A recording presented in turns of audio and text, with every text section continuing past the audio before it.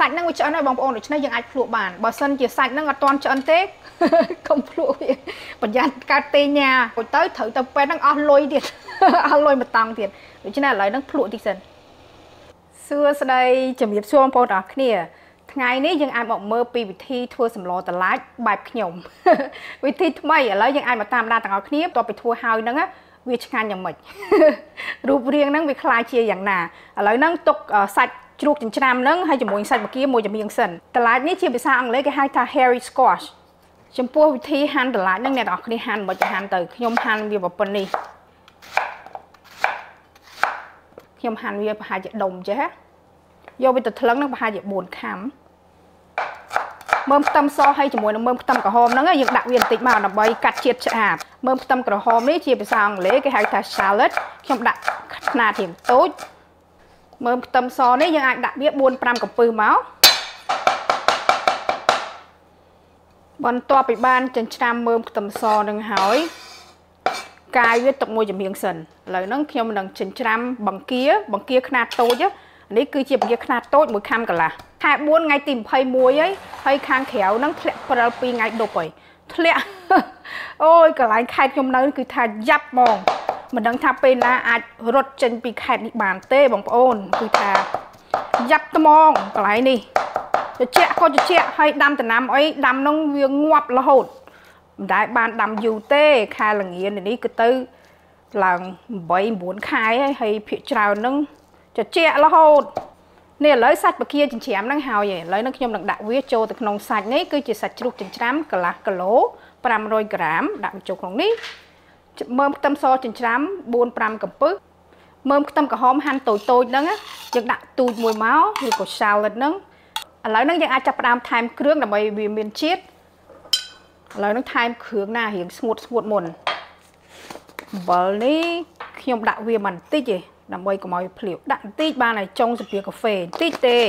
ហើយជាមួយនឹងម្សៅស៊ុបមាន់កន្លះស្ពាកាហ្វេ ស្វៅម្សៅស៊ុបមាន់ហ្នឹងដូចប៊ីចេងចឹងដែរវាមានជាតិហើយវាមានប៊ីចេងក្នុងហ្នឹងស្រាប់ហើយអញ្ចឹងមិនដាក់ប៊ីចេងទេហើយស្ករកន្លះស្ពាកាហ្វេទឹកត្រីនេះយើងដាក់វាមួយស្ពាកាហ្វេមកជាមួយនឹងទឹកស៊ីអ៊ីវ light soy sauce អានេះអត់សូវមានជាតិទេណាជាតិរៀងប្រៃតិចតិច2ស្ពាកាហ្វេប៉ុណ្្នឹងឯងហើយបន្ទាប់មកខ្ញុំនឹងច្បល់វា បន្ទាប់មកយើងអាចចាប់ផ្ដើមច្បល់វាឲ្យសប់ចូលគ្នាល្អណាឥឡូវហ្នឹងអ្នកទាំងអស់គ្នាអាចច្បល់វាឲ្យសប់ចូលគ្នាឲ្យសាច់ហ្នឹងវាស្អិតចូលគ្នាល្អណាហើយផងដែរខ្ញុំបានដាំទឹកក្រួយខ្នងហ្នឹង2លីត្រកន្លះកំពុងតែដាំទឹកនៅពេលដែលខ្ញុំត្រៀមសាច់ហើយជាមួយបន្លែហ្នឹងខ្ញុំក៏បានចាប់ផ្ដើមដាំទឹកផងដែរដោយសារវិធីលាយសាច់នេះអត់សូវយូរទេហាន់បន្លែក៏អត់សូវយូរដែរអាហ្នឹងគឺជាវិធីលឿនបើសិនយើងចង់លឿនណាយើងអាចដាំទឹកឲ្យវាពុះបដាទៅហើយនៅពេលដែល យើងបើកភ្លើងភ្លាមយើងចាត់ការគ្រឿងទាំងអស់នេះលាយសាច់ហាន់បន្លែហាន់គ្រឿងដែលយើងត្រូវការហ្នឹងត្រៀមវាមកហើយដល់ពេលយើងត្រៀមវាហើយទៅទឹកនឹងពុះយើងអាចចាប់ផ្ដើមទៅធ្វើសម្លហ្នឹងតែម្ដងនៅពេលដែលយើងច្របាច់វាយូរសាច់នេះវារៀងស្វិតតិចតិចច្របាច់កាន់តែយូរទៅដូចសាច់ហ្នឹងរៀងតឹងតឹងទៅវាស្អិតផងដែរវានឹងធ្វើឲ្យសាច់ហ្នឹងវាស្វិតល្អអត់មានដាក់គ្រឿងអីដែលស្វិតទេប៉ុន្តែទោះបីយើងច្របាច់យូរយូរទៅវានៅតែ ធ្វើឲ្យសាច់ហ្នឹងវាល្អដោយសារមានសាច់បង្គាអីចឹងនៅពេលដែលយើងច្របាច់វាទៅដូចមានលក្ខណៈស្វិតស្វិតពេលហ្នឹងយើងអាចឈប់បានហើយនេះបន្ទាប់ពីបានត្រៀមបន្លែអីហើយហើយជាមួយលាយសាច់អីហើយហ្នឹងឥឡូវហ្នឹងទឹកវាពុះហើយនេះទឹក2លីត្រកន្លះបន្ទាប់ពីឃើញថាទឹក2លីត្រកន្លះហ្នឹងវាពុះហើយហ្នឹងយើងអាចចាប់ផ្ដើមថែមគ្រឿងមុនខ្ញុំចូលចិត្តថែមគ្រឿងមុនណាថែមគ្រឿងដើម្បីឲ្យទឹកហ្នឹងវាមានជាតិរួចទៅយើងអាចចាប់ផ្ដើមចម្អិនសាច់អំបិលកន្លះស្លាបព្រាបាយ ស្ករកន្លះស្លាបព្រាបាយម្សៅស៊ុបកន្លះស្លាបព្រាបាយហើយជាមួយនឹងទឹកត្រីមួយស្លាបព្រាបាយបន្ទាប់មកខ្ញុំនឹងប្រើដៃដើម្បីច្របាច់សាច់ហ្នឹងឲ្យវាមូមូខ្លុំខ្លុំល្អបើមិនជាអ្នកទាំងគ្នាចង់ពាក់ស្រោមដៃក៏បានដែរ តែបើសិនអត់ពាក់ស្រោមដៃទេដៃហ្នឹងលាងឲ្យស្អាតប្រយ័ត្នគេខ្ពើមបងប្អូនសាច់ជ្រូកចិញ្ច្រាំលាយជាមួយបង្គាជាមួយគ្រឿងអីណាឥឡូវវាមានជាតិហើយហើយខ្ញុំនឹងអូដាក់ទឹកបន្តិចអ្នកទាំងគ្នាត្រូវការសុភាមួយហើយជាមួយនឹងទឹកដើម្បីយើងជ្រលក់ហ្នឹងនៅពេលដែលដៃយើងស្អិតហើយដៃហ្នឹងដៃហ្នឹងឥឡូវយើងដៃស្អាត យើងជ្រលក់ជាមួយទឹកបន្តិចមកហើយបន្តមកច្បិចចាប់ផ្ដើមចាប់វារួចទៅដៃមេដៃមេជាមួយនឹងច្អល់ដៃយើង ចេះច្បាច់វាណាច្បាច់យូរយូរទៅវាចេញមូលខ្លុំអញ្ចឹងយើងតម្លាក់វាចុះបើសិនជាអ្នកទាំងអស់គ្នាច្បាច់លើកទី1ច្បាស់ជាយឺតប៉ុន្តែមិនថ្មីទេអ្នកនរគ្នាយើងបន្ថយភ្លើងទៅភ្លើង medium high heat កុំដាក់ភ្លើងខ្លាំងពេកខ្លះចំហាយទឹកនោះវាភាយឡើងមកវាលាកដៃយើងហើយអ្នកនរគ្នាចង់ច្រវាច់ទូធំប៉ុណ្ណាក៏បានដែរបើសិនជាចង់ឲ្យវាធំយើងច្រវាច់វាឲ្យវានេះ រុញវាឡើងលើឲ្យរៀងធំតិចទៅនៅពេលដែលយើងរុញវាឡើងលើធំវានឹងចេញមកធំតែបើសិនជាយើងចង់ឲ្យវាទូចយើងបិទវាណាដូចនេះយើងបិទវាមកទូចមកទៅពេលដែលវាទូចអញ្ចឹងយើង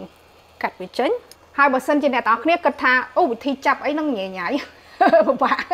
ហើយមកកខិតទៀតអ្នកទាំងអស់គ្នាប្រើសភាប្រាំងទៅយើងនេះយើងដួសវាអញ្ចឹងមកហើយដាក់វាចូលប៉ុន្តែវិធីនេះ សាច់ហ្នឹងវាអត់សូវហាប់ទេនៅពេលដែលយើងច្រវាច់វាច្រវាច់វាយូរយូរទៅនៅពេលដែលយើងដាក់វាចូលមូលឡើងខ្លុំមួយទៅសាច់ហ្នឹងឡើងហាប់ល្អដូច្នេះអាហ្នឹងគឺជាតាក់ទិចបើសិនជាអ្នកនរគ្នាមិនចង់ធ្វើក៏មិនអីដែរវិធីហ្នឹងមួយយ៉ាងប៉ុន្តែមិនច្បាស់ថាវាលឿនទេដោយសារនៅពេលដែលយើងស្ទាត់ច្រវាច់វានេះច្រវាច់នេះជួនកាលចង់លឿនជាងអានោះផងដោយសារសភានោះជួនកាលកលាស់វាកលាស់វាវាចេះជាប់ ហើយជាធម្មតាច្រវាច់យូរយូរទៅអាកន្លែងខ្លះហ្នឹងវាលៀនសាច់ចេញមកពីម្រាមដៃឲ្យយើងហ្នឹងវាធ្លាក់ចូលទៅក្នុងទឹកស៊ុបហ្នឹងមិនធ្វេទេហើយហើយចំពោះដៃហ្នឹងដូចខ្ញុំនិយាយចឹងលាងឲ្យស្អាតប្រយ័ត្នប្រយ័ត្នគេខ្ពើមពិបាកខ្ពើមទេណាអ្នកដែលខ្ពើមហ្នឹងច្បាស់ជាអត់បាយឥឡូវហ្នឹងហើយវិធីច្រវាច់សាច់នេះដល់ពេលយើងច្រវាច់យូរយូរទៅហ្នឹងយើងស្វាមដូចថារៀងស្ទាត់ដៃដល់ពេលស្ទាត់ដៃទៅហ្នឹងវានឹងលឿនបានហើយសភាហ្នឹងយើងអាចចេះជ្រលក់ជាមួយនឹងទឹកទៅ តាមពិតទៅនៅពេលដែលយើងធ្វើយូរយូរសភាហ្នឹងជ្រលក់តែម្ដងហ្នឹងយើងអាចធ្វើរហូតដល់ចប់អាហ្នឹងគឺជាការស្ទាត់បើសិនយើងស្ទាត់ទៅយូរទៅយើងមិនបាច់ជ្រលក់ជាមួយទឹកច្រើនទេសភាហ្នឹងខ្ញុំនឹងដាក់វាចូលប្រហែលជា4ខាំអីឯសាច់នេះហើយសាច់2ខាំកន្លះទៀតហ្នឹងខ្ញុំនឹងទុកវាដើម្បីប្រហែលជាជៀនពងទាឬក៏ធ្វើអីផ្សេង អាចុងក្រោយហ្នឹងมันអាចច្របាច់អីទៀតទេយើងលុញវាចឡើងចឡើងមករហូតដល់តែវារៀងមូចឹងហើយបន្ទាប់មកតម្លាក់វាចូលផ្លុកបន្ទាប់មកនៅពេលដែលយើងច្របាច់វាហើយហ្នឹងសាច់ហ្នឹងវាគួរតែឆ្អិនហើយប្រហែលយើងត្រូវការចំណាយពេល5នាទី6នាទីវាតាមថាអ្នកនរគ្នាច្របាច់វាហ្នឹងប្រើពេលវេលាហ្នឹងយូរប៉ុណ្ណាឆច្របាច់ឆច្របាច់ហ្នឹងយូរប៉ុណ្ណានេះតឡាចដែលបានហាន់ហើយហ្នឹងយើងអាចដាក់វាចូលទាំងអស់មកតឡាចនេះប្រហែលជា4ខាំ បន្ទាប់ពីបានដាក់តឡាចចូលមកហ្នឹងយើងបើកភ្លើងខ្លាំងដើម្បីឲ្យទឹកស៊ុបហ្នឹងវាឆាប់ពុះទៅបន្ទាប់ពីឃើញវាពុះហ្នឹងយើងអាចបន្ថយភ្លើងហើយប៉ុន្តែឥឡូវហ្នឹងខ្ញុំចង់ភ្លក់វាបន្តិចសិនសាច់ហ្នឹងវាឆ្អិនហើយបងប្អូនដូច្នេះយើងអាចភ្លក់បានបើសិនជាសាច់ហ្នឹងអត់ទាន់ឆ្អិនទេកុំភ្លក់វាប្រយ័ត្នកើតទេញ៉ាទៅត្រូវទៅពេទ្យហ្នឹងអស់លុយទៀតអស់លុយមួយតង់ទៀតដូច្នេះឥឡូវហ្នឹងភ្លក់តិចសិន ល្មមហើយបងប្អូនល្មមហើយបើសិនជាអ្នកនរគ្នាគិតថាវាប្រៃអីហ្នឹងយើងថែមទឹកទៅថែមទឹកទៅ វានឹងធ្វើឲ្យការប្រៃកាយហ្នឹងវាថយចុះបន្តិចដូច្នេះឥឡូវហ្នឹងប៉ុណ្ណឹងបានហើយប៉ុន្តែដោយសារយើងត្រូវការងាស់វាដើម្បីឲ្យតម្លាញហ្នឹងវារៀងផុយឆ្នេះនៅពេលដែលឃើញថាវាចាប់ផ្ដើមពុះអញ្ចឹងខ្ញុំនឹងងាស់វាភ្លើងលេខតិចភ្លើងមិនតិចមែនតើភ្លើង medium medium heat ភ្លើងមធ្យមហ្នឹងដើម្បីឲ្យតឡាចហ្នឹងវាចេញជាតិចូលក្នុងទឹកស៊ុបហ្នឹងជាមួយនឹងសាច់អីហ្នឹងវាចូលគ្នាដៃចូលគ្នាទៅនៅពេលដែលវាចូលជាតិគ្នាល្អហើយហ្នឹងនៅពេលហ្នឹងយើងអាចបិទភ្លើងទៅនៅពេលដែលយើងបិទភ្លើងហ្នឹងកម្ដៅភ្លើងហ្នឹងកម្ដៅទឹកស៊ុបហ្នឹងវានឹងបន្តការចំអិនឲ្យតឡាចហ្នឹងកាន់តែដូចថាទុនជាងមុនដល់ពេលវាទុនជាងមុនទៅជាតិតឡាចហ្នឹងវាកាន់តែចេញជាតិចូលទៅក្នុងទឹកស៊ុបហ្នឹងវានឹងធ្វើឲ្យទឹកស៊ុបហ្នឹងកាន់តែឆ្ងាញ់ អូខេឥឡូវហ្នឹងខ្ញុំនឹងដាក់ម៉ោង10នាទី10នាទីបានហើយនៅពេលដែលវាឆ្អិនហ្នឹង10នាទីទៀតខ្ញុំនឹងបង្ហាញម្ដងទៀតចំពោះដែលសាច់នៅសល់នេះខ្ញុំនឹងដួសវាដាក់ចូលក្នុងកតោនេះដើម្បីទុកក្នុងទូទឹកកកផ្នែកត្រជាក់ហ្នឹងខ្ញុំប្រហែលជាធ្វើវាប្រហែលជាស្អែកស្អែកថ្ងៃសៅរ៍ដល់ពេលអញ្ចឹងខ្ញុំអាចទុកវាដើម្បីធ្វើអាហារពេលព្រឹកអីចឹងជៀនជាមួយពងទាអីចឹងទៅដោយសារទៀតហ្នឹងខ្ញុំត្រូវទៅធ្វើការទៅធ្វើការមួយប្តីដល់ពេលអញ្ចឹង ត្រូវទុកអានេះចោលសិនដល់ពេលចាំស្អែកចាំលៃវាខ្ញុំអត់មានពេលជៀនពងទាអីថែមពីលើឥឡូវហ្នឹងទុកវាចោលសិនហើយត្រូវការលាងចានលាងអីបងប្អូនវល់នេះបងប្អូនបន្ទាប់ពីបានងាស់វាចោលក្នុងរយៈពេល10នាទីនៅក្នុងភ្លើងពាក់កណ្ដាលហ្នឹងណានៅពេលហ្នឹងតឡាចហ្នឹងវាផុយហើយនៅពេលដែលផុយហ្នឹងយើងអាចបិទភ្លើងទៅហើយកម្ដៅទឹកស៊ុបហ្នឹងវានឹងបន្តការចម្អិនទៀតហើយវាធ្វើឲ្យទឹកស៊ុបហ្នឹងកាន់តែមានជាតិឆ្ងាញ់ជាងមុនប៉ុន្តែឥឡូវនេះខ្ញុំចង់ភ្លក់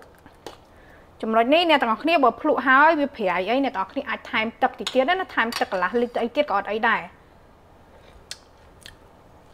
ចំពោះខ្ញុំល្មមហីដូច្នេះអ្នកទាំងអស់គ្នាអាចលៃតាមហ្នឹងណាចូលចិត្តអីថែម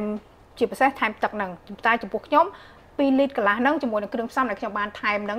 ងាស់វាដល់រៀងរីងទឹកបន្តិចទៅវារៀងមានជាតិរៀងមុតឆ្ងាញ់ហ្នឹងពេលហ្នឹងយើងអាចញ៉ាំបានហើយហើយបន្ទាប់មកអ្នកទាំងអស់គ្នា បើសិនជាអ្នកទាំងអស់គ្នាមានស្លឹកខ្ទឹមយើងអាចដាក់ស្លឹកខ្ទឹមចូលមកដើម្បីឲ្យវាពណ៌ស្អាតហើយដើម្បីឲ្យវាឈ្ងុយយើងអាចដាក់នេះមើមខ្ទឹមកន្លោចូលបន្តិចមកអូនេះគឺថាឆ្ងាញ់ត្មង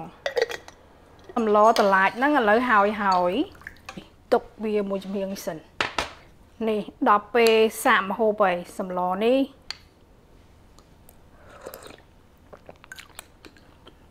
អឺជាតិណា តឡាចនេះនៅពេលដែលយើងងាស់វាដូចថាវាចេញជាតិរៀងផុយចេញជាតិឆ្ងាញ់មែនតែនចូលទៅទឹកសម្លហ្នឹងជួនកាលខ្ញុំចូលចិត្តធ្វើសម្លសាច់មាន់ណាកាប់មាន់រួចទៅដាក់ជាមួយតឡាចស្ងោរមួយតឡាចហ្នឹងគឺថាឆ្ងាញ់ដែរ